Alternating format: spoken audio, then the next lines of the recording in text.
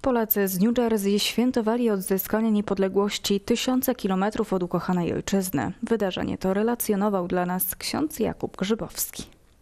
Ich serca, choć oddalone tysiące mil od ojczyzny, dla ojczyzny biją szczególnie mocno. Bo cieszę się, że jestem Polakiem, jestem z tego dumny. 11 listopada, jak co roku, połączył Polaków nie tylko w kraju, ale również poza jego granicami. W stanie New Jersey pod samym Manhattanem odbył się uroczysty Dzień Polonii. Wydarzenie relacjonował dla nas ksiądz Jakub Grzybowski. Setki rodaków i przyjaciół Polski zgromadziły się, aby oddać hołd walczącym o niepodległość i celebrować wspólne dziedzictwo Polski.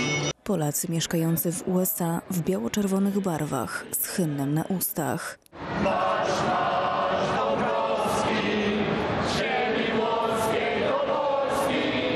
Manifestowali przywiązanie do ojczyzny.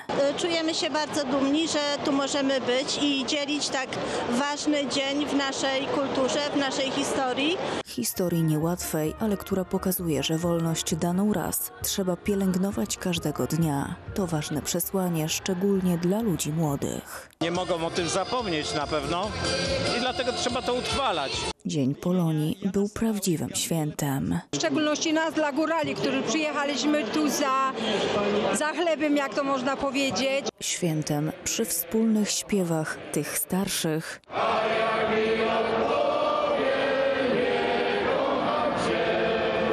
i tych najmłodszych.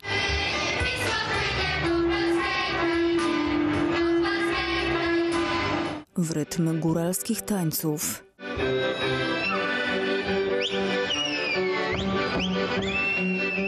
pieśni.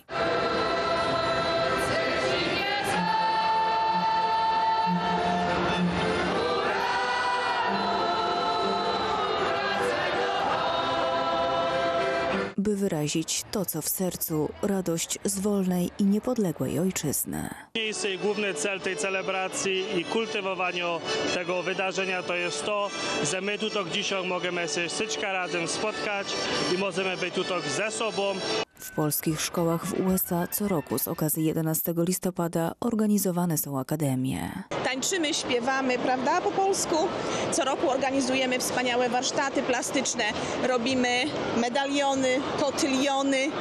Świętujemy całą parą. Bo Polacy za granicą są naszymi szczególnymi ambasadorami. Już jestem 30 lat na emigracji. Mam czwórkę dzieci, których wychowałam w polsko-amerykańskim języku. Ale też w polskich wartościach przekazywanych przez rodziców i dziadków. Pomimo to, że się urodziłam w Ameryce, mówię pięknie po polsku, czytam, pis, piszę dzięki mojej babci, dzięki moim rodzicom. Były to wzruszające obchody. które pokazują, że polskie serce bije mocno, niezależnie od szerokości geograficznej.